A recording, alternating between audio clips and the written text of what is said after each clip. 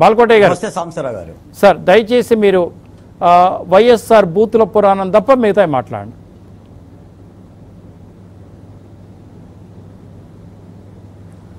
Sir. నాకు కూడా ఇవాళ సాంబశివరావు గారు వైకాపా పార్టీలోని ఎమ్మెల్యేలు మంత్రులు మాట్లాడుతున్న మాటలు తీరును బట్టి కూడా నేను కూడా బూతులు మాట్లాడాలని చెప్పేసి అని అనుకుంటున్నాను సార్. వద్దు సార్ ఎందుకంటే యువజన శ్రామిక రైతు ఒక్క నిమిషం సార్. యువజన శ్రామిక రైతుల్లో శ్రామిక రైతు మీకు మీరున్నారు కాబట్టి కొంచెం డౌట్ వచ్చింది సార్ అందుకని మాట్లాడుతున్నాను ఎందుకంటే మరి పెద్దల్ని అనుసరించాలి కదా సాంబశివరావు గారు.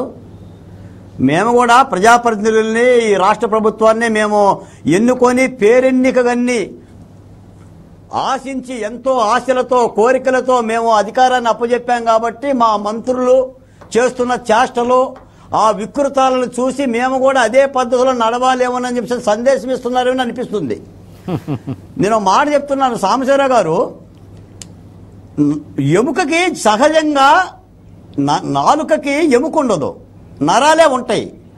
కాకపోతే వైకాపా ఏపీలో వైకాపాలోని కొందరు మంత్రులకు కొందరు మంత్రులకు ఆ నరాలు కూడా లేవు. ఒక ప్రజాస్వామ్య ప్రక్రియలో భారత రాజ్యాంగం మీద ప్రమాణం చేసి ప్రజాప్రతినిధులుగా ఎన్నికయ్యి సమాజానికి విద్యార్థి లోకానికి రైతుకి ప్రజలకి బహుజన కులాలకు అందరికీ ఆదర్శంగా ఉండాల్సిన ప్రజాస్వామిక ఎమ్మెల్యేలు మంత్రులు ఏంటి సార్ ఆ బూతులు మాట్లాడటం? ఇది ఒక్క ఇరవై ఎనిమిది రాష్ట్రాల్లో మన తెలుగు రాష్ట్రంలోనే ఎక్కువైపోయింది. ఈ పాండిత్యం. మేము అనుకుంటున్నాం పదిహేడవ శతాబ్దంలో చౌడప్ప అని ఒక మహాకవి ఉన్నాడు. ఆ చౌడప్ప మహాకవి చెప్తాడు ఆ రోజునే పదిహేడవ శతాబ్దంలో నీతులకేమి ఒకించుక బూతులాడక దొరకు నవ్వు పుట్టదు ధరలో బూతులాడకపోతే దొరలకి నవ్వు రాదంట. నీతులు బూతులు లోక ఖ్యాతులు రా అని చెప్పాడు. అంటే బూతులు మాట్లాడితే లోకానికి ఖ్యాతంట. మరి ఆ చౌడప్ప వారసులేమో ఈ రాష్ట్రంలో ఉన్న ఆ కొద్ది మంది మంత్రులు చాలా దుర్మార్గంగా ఇదంతా ప్రజలు గమనిస్తున్నారు. ఇదంతా ప్రజలు గమనిస్తున్నారు.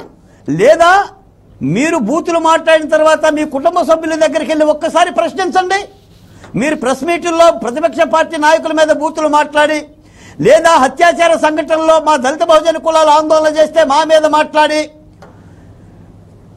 మీ ఇష్టానికదారంగా ఒక ఆయనేమో అరగంటలో రమ్మంటాడు. తొందరగా ఒక అరగంటలో పంపిస్తానంటాడు. ఇంకొక ఆయనేవో ఎక్కడున్నావు అంటాడు నిజంగా సిగ్ సిగ్గు తెచ్చుకోవాలి. సిగ్గు తెచ్చుకోవాలి. ముఖ్యమంత్రి గారు మీరు ఇటువంటి మంత్రుల్ని ఇంకా శాఖల్లో ఎందుకు ఉంచుతున్నారని మేము అడుగుతున్నాం. ముఖ్యమంత్రి జగన్మోహన్ రెడ్డి గారిని ఒకే ఒక ప్రశ్న అడుగుతున్నా. అయ్యా ఇటువంటి ప్రబుద్ధుల్ని ఇటువంటి బూత్ మంత్రుల్ని శృంగార పురుషుల్ని ఆ శాఖల్లో ఇంకా ఎంతకాలం కొనసాగిస్తారు? తక్షణం పీకేయండి మీరు పృథ్వీరాజు గారిని తప్పు చేస్తే ఆ పదవి నుంచి తీసేశారు కదా. ఇప్పుడు ఈ ఇద్దరు మంత్రులు కూడా ఈ ఇద్దరు మంత్రులు కూడా పదవి నుంచి తీసేయండి. మీ ఔన్నత్యం కాపాడబడుతుంది. ఎంత దారుణం అంటే ప్రజాస్వామిక ప్రక్రియలో రాజకీయాలంటే సమాజానికి ఉద్ధరించేవి రాజకీయాలు సమాజాన్ని ఉద్ధరించాలి. సమాజాన్ని ఏడిపించకూడదు. కానీ ఇప్పుడు ఆంధ్రప్రదేశ్లో రాజకీయాలు ఏడిపిస్తున్నాయి. మీరు పట్టపగ్గాలు లేకుండా మాట్లాడితే ఇంకా ఎవరింటారండి మా మాటలు? ఎవరింటారు మా మాటలు? అరే ఒక సంఘటన తర్వాత ఒక అరే రమ్య సంఘటన జరిగింది అనుకుంటే రాజుపాలెంలో జరిగింది. మరో సంఘటన జరిగింది. కావల్లో ఒక కుటుంబంలో సంఘటన జరిగింది. అసలు ఈ పరిపాలన ఉందా? ఎంత దుర్మార్గంగా ఉన్నారు? ముఖ్యమంత్రి గారు మీరు సంక్షేమ పథకాలు చేపట్టకపోయినా పర్వాలా. ఆంధ్ర రాష్ట్రాన్ని దివాలా తీసినా పర్వాలా. కనీసం ఈ సభ్యత లేని మంత్రులనన్నా సరే ఆ శాఖల నుంచి తొలగించండి.